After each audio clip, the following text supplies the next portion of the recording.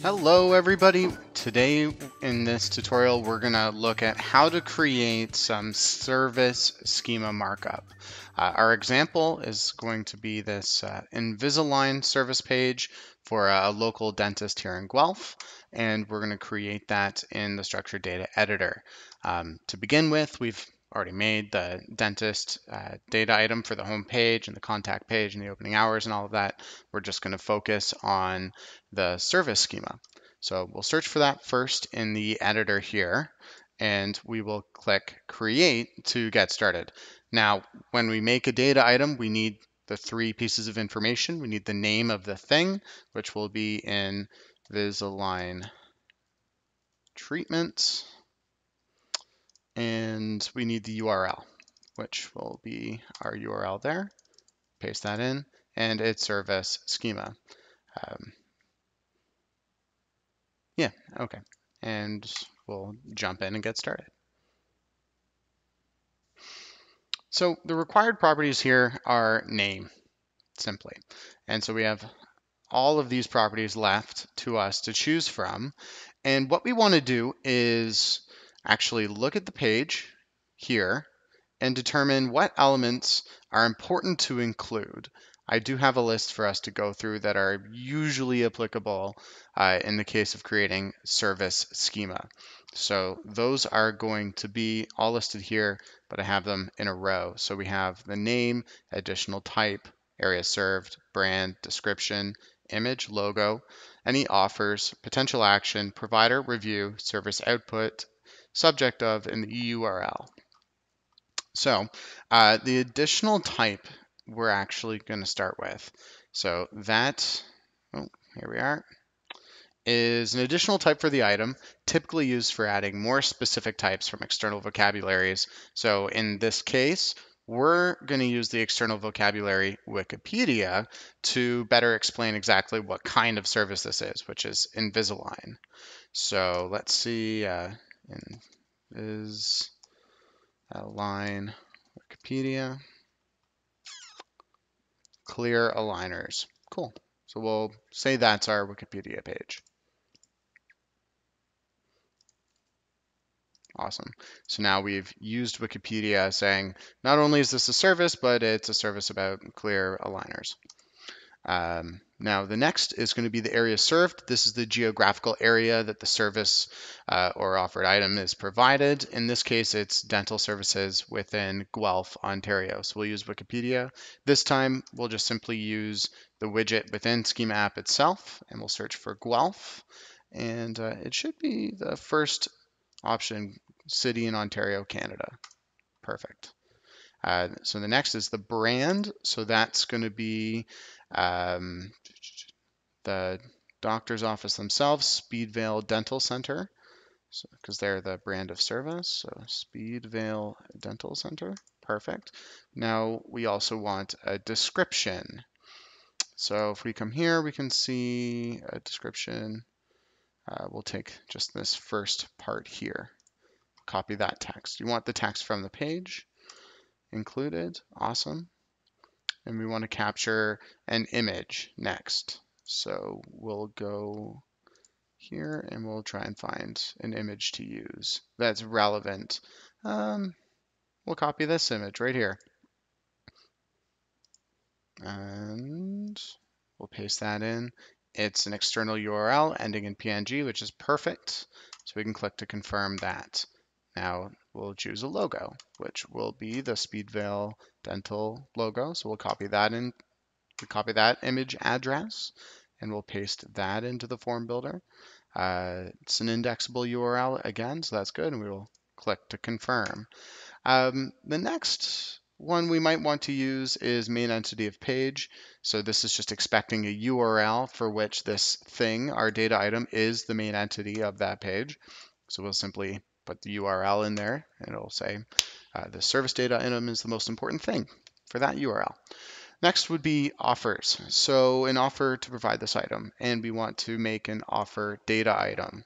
So we'll create a data item. We'll call this invis align treatments offer. Uh, we have the correct uh, URL already in here and it has the hashtag end offer. So that's good. We can click OK.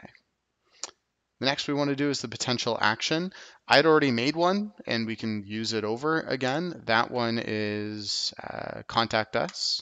So the potential action that someone might take here is to you know get in contact. Uh, the next is the provider of the service. That is going to be Speedvale again because they're providing the service. Um, after that, we would have review, which is good uh, to include. So I think at the bottom of this page, there are some reviews for us to use. Here we are. Okay, yeah, what our patients say. Okay, so that is by Trisha. All right, so we're going to create a review data item. We'll say uh, uh, that's a review by Trisha. Again, we have the right URL, so it'll deploy to the right page, and then our unique indicator, which is hashtag review. Okay. Uh, now, we don't need a same as.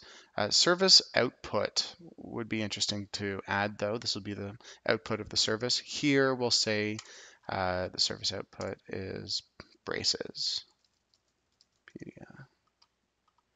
Dental braces. So we'll copy that link, and we will create a data item. We'll say it's dental braces service output. That's correct thing, awesome. And we want the subject of. So this is a really cool property where we get to say that our uh, entity here, this service data item, is the subject of some kind of creative work. And if we look at the page, we'll be able to see that there's a, a video here. Uh, we can click here to watch and it'll pop out. And that's very common, so we want to be able to include that as well. So we're going to create a, a video object for the subject of. API reference, nope. Uh, we want a video object. Awesome and we will call it um, short video, friendly Invisalign short video.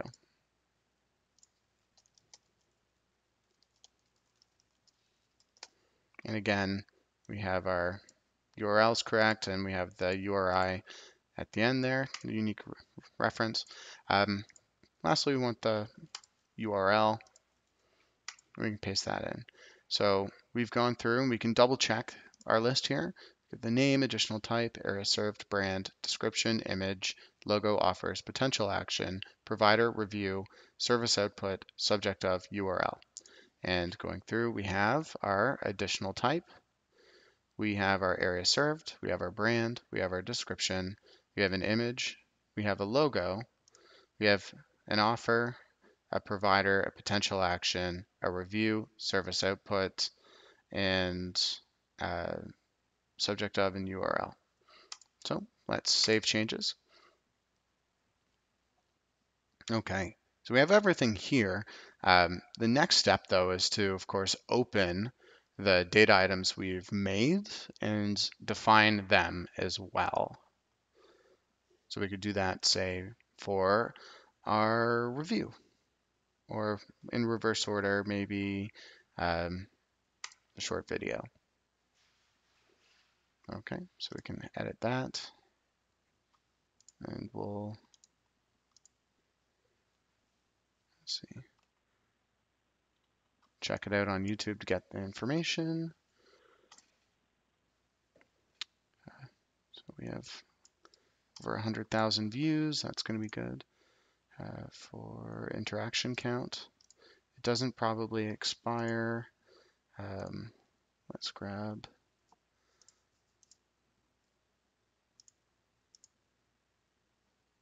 embeds. There we go. This is the, oh, excuse me.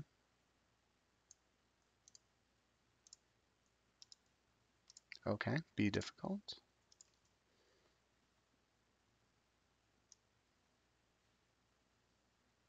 There we are. We want the embed link. So we'll copy that. The content URL is simply here. Uh, what was the name? How does Invisalign work? Okay, so that's actually the name of the video. So we'll change that. We'll grab the description right here. The duration is one minute and, oh, two minutes and two seconds. So we, when you're doing the duration, you have to do follow the ISO 8601 date format, where you have the um, different headers for the different measurements, like minutes, seconds, years. Uh, so for this, it'll be PT, uh, two minutes, two seconds. Thumbnail URL, uh, so we want to grab this and we'll say YouTube video. Thumbnail image, get the thumbnail image. Uh, here it is. Really that easy. Copy. And it was uploaded on August 29th, 2014. So that's August 2014, and it was the 29th. Awesome. There's no expiry date because I don't think they plan to take it down. So we'll save changes. We know that there's no expiry date. That's fine. That is our video object for the subject of. Now the next part is the review. So we have the review by Trisha. So let's go to the review by Trisha content in the page. Let's just search for Trisha. There she is. Awesome. So we'll maybe start by just taking the content of her very long review, just so we have that ready. And that's the review body. Language is US. The URL for the review is the same. Um, let's see. Our patients say best. You know, unfortunately, there isn't a star rating here. So we won't be able to put a review rating. I would recommend that you would include that, but we can call out who the author is. So this is a person. Her name is Trisha, and she's the author. Um, date published. Uh, it's not shown, so that may be uh, an indication that Speedvale could put the date published. The publisher, though, is Speedvale. There, the thing being reviewed as well. Or uh, the thing being reviewed is actually the Invisalign treatments and the description would be what our people say, what our patients say. And uh, we'll have some missing information. We're missing a date published and a review rating, but the rest is all there and done. So yes, we know we'll have some validation results, but that's fine because it's not in the page. So we're going to want to, uh, since I've already made the potential action, go to the offer and we'll edit that data item as well. So here we have the price currency, it'll be US dollars. We don't actually have a price, unfortunately. Uh, the availability is constantly in stock. The price is probably valid for this year. Um, so we'll say December 31st. The item being offered is the Invisalign treatments, and we'll say that this is the URL. Okay, we can click the incoming reference to go back up a level. Okay, and we'll go to the service output. One thing we want to do is link to the dental braces, saying that you know, when you get Invisalign, the output is you'll have dental braces. Okay, and we'll go back to the Invisalign, our service data item with that change. Get schema JSON LD, test with Google. and we have no warnings, but we have very comprehensive schema markup.